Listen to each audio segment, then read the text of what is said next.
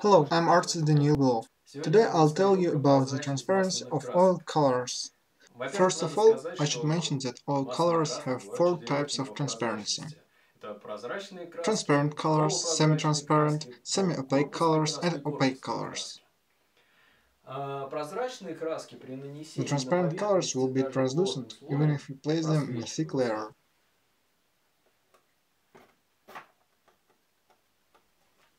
Корпусные краски при нанесении на поверхность Opaque colors completely cover a surface.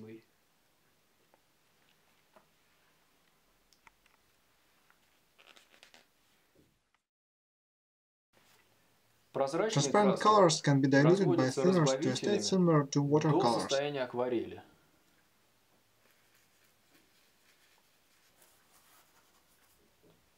Чего нельзя сказать о корпусных The opaque colors cannot.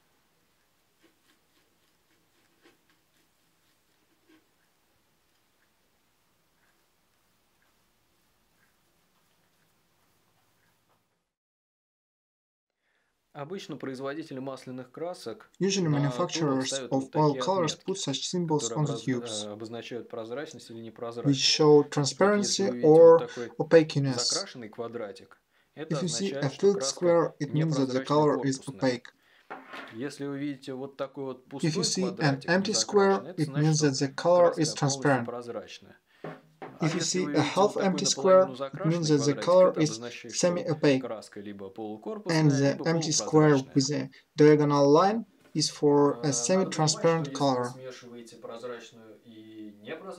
You should know that if you mix a transparent and an opaque color, the result will be semi-transparent. Generally speaking, old masters usually painted like this. They did the first layer with transparent colors, which meant that they were painting and underpainting.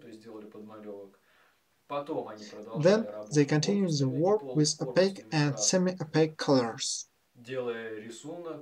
creating the picture, conveying the form, and so on.